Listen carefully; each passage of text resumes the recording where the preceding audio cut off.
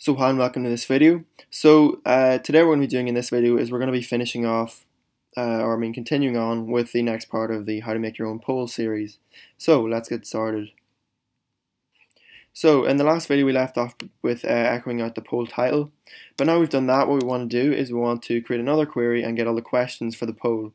So uh, what we're going to do is we're just going to copy query and uh, all of this just to speed things up and we're going to paste it down here and we have to close that off and close the one above it off. So I'm just going to space these out a bit more for, uh, well, just to make it a bit easier to read. So let's just uh, tidy things up a bit. So obviously we can't use these same variables over again, so I'm going to say uh, questions equals select all from questions, where poll ID equals poll ID, and then we're going to keep uh, this, actually we're going to change that. So we're set Q2 just because it's the second query and we're going to set that equal to uh, the questions uh, variable. And then we're going to set this to Q2 and that should be all we have to change. Actually change this to row uh, 2. We can change this to row 2 or we can just leave it as R. So I'll change it to R actually just so that it's different from the original uh, variable up here. And we're going to echo out, or the first thing we're going to get actually is, if we go to questions, uh, and go to structure, we're going to get the question which is uh, which has an index of 1. So we're going to say question and it has an index of 1.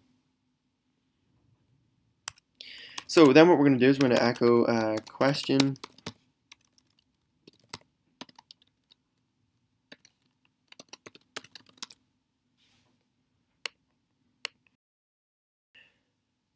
So we're going to go to back to the website and we're going to refresh the page.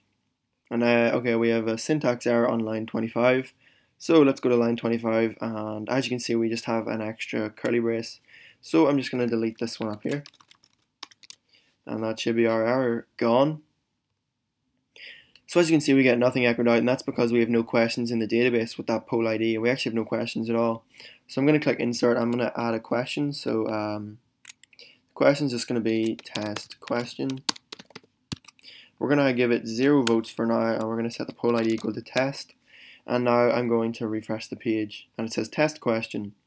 Now what I'm going to do is I'm going to uh, create another question. So uh, uh, second question. It's going to have zero votes as well and it's going to have a poll ID of test as well. So there we have two questions in our poll. So up here, what I'm actually going to do is I'm just going to say echo uh, h1 uh, and I'm just going to echo the title out of the uh, poll. So here's our test poll. It gets a title from the database and we have our two questions below it.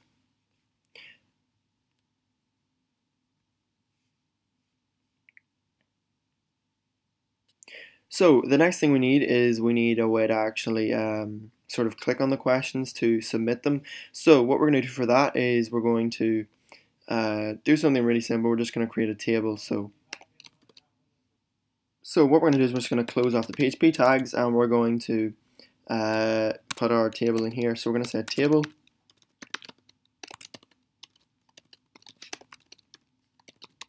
And we're going to create a table detail um, actually no we'll uh, leave that as table row. And we'll go down below here and we will uh, close off the table row.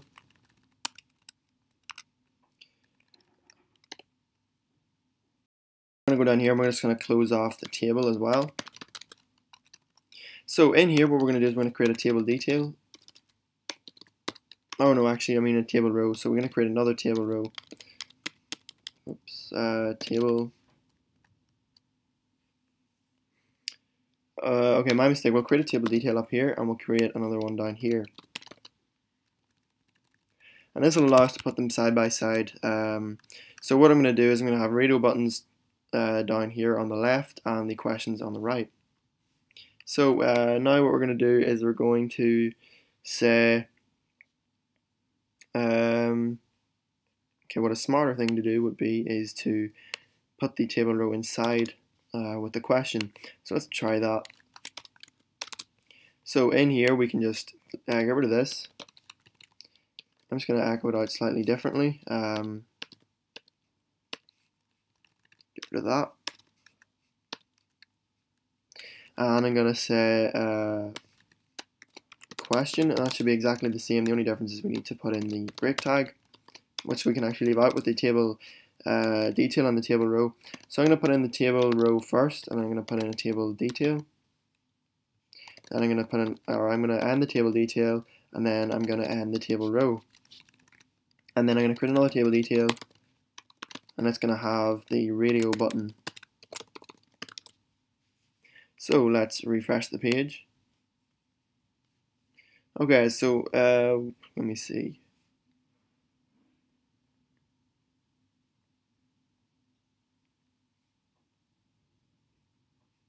So what we need to do is just need to uh, open that table detail up here and let's try it here. So as you can see now it sort of lines up better. The radio buttons are going to be on this side and the questions are going to be on this side. So uh, what we're going to do now is we're going to create a submit button um, uh, at the bottom of our table. So we're just going to create another, another table row um, and then in here a table detail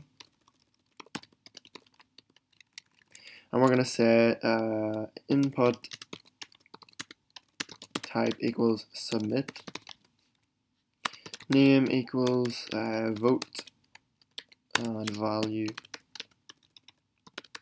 equals vote. Okay so let's uh, refresh the page. So now we have a vote button at the bottom of our table. So what we need to do is we need to come up here and we need to create a form. So the form it's going to have an action of uh, index.php. Actually, if we leave the action empty, it, it should just uh, go to the page we're on. Then I'm going to have a method of post because we're sending data to the server. And down here, what I'm going to do is I'm going to close off the form.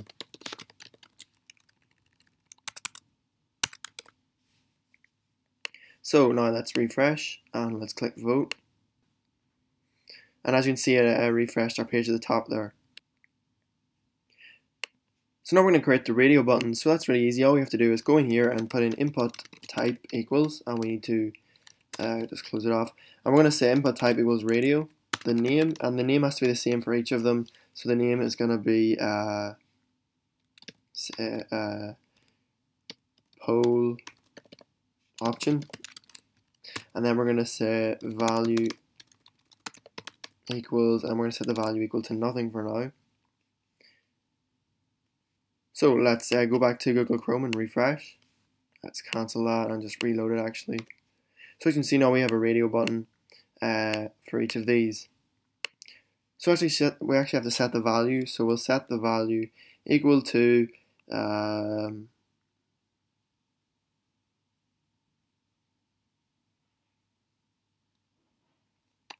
We'll set the value equal to question. So we're going to include the question variable.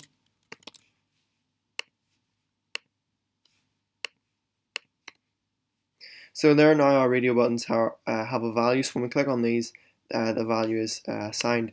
And we can uh, check the value by uh, going up here and saying echo uh, post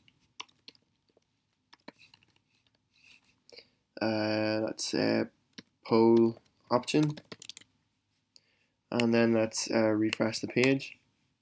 So at the minute it's undefined but if we click test question and click vote it says test question. If we uh, refresh and click second question uh, it now says second question. We can click test question again. And it does the exact same thing. So now we know we're getting the data from the uh, radio buttons so now we know we're getting the data from the radio buttons. Uh, we'll actually end this video now and we'll uh, continue on in the next one. So once again, thanks for watching and uh, don't forget to like, comment, favorite and subscribe and I'll see you next time.